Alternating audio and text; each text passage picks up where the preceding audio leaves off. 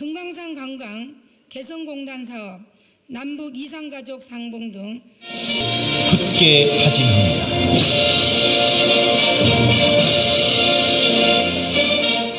고양시가 평화 비전을 제시하고 남북 교류 협력 사업을 추진하여 남북 교류의 가교 역할을 하고 평양과 관계자 여러분께 다시 한번 감사드리고 여기 오신 분들 건강과 가정의 행복을 기원.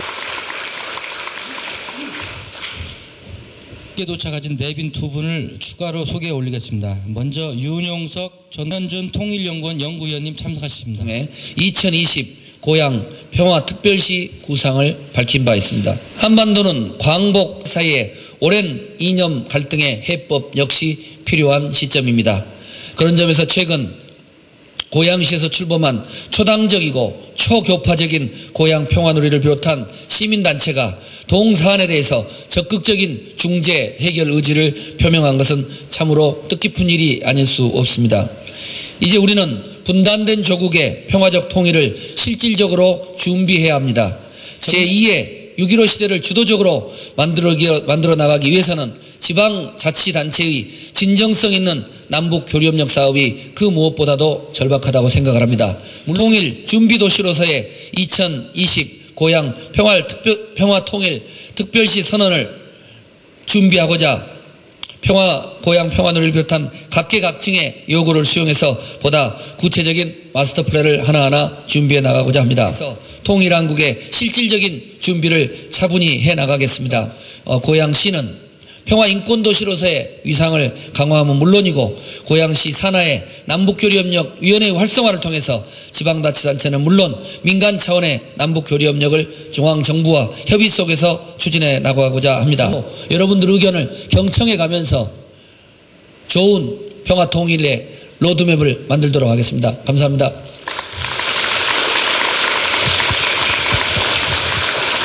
특별 세미나는 양영식 전 통일부 차관님의 사회로 진행하도록 하겠습니다.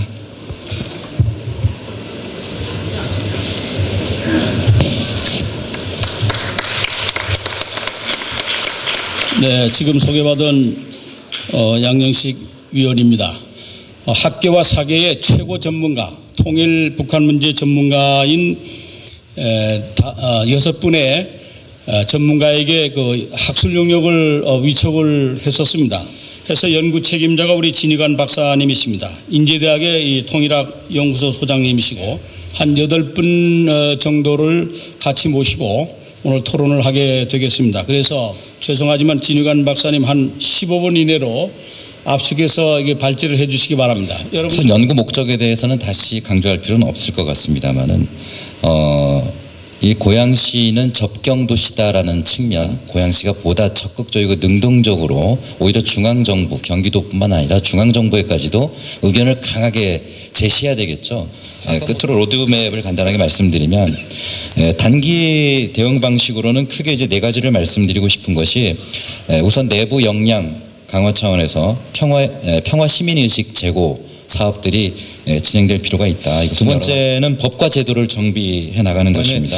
네 번째는 저희가 이제 어, 여러 가지 판단해 본 결과 예, 고양시의 상징인 그 평화, 그 다음에 꽃, 예, 곳이라는 것을 생각해 봤을 때 남북 간의 화해 협력 사업이 굉장히 그 효율성이 있지 않을까 그런 판단이 들었습니다.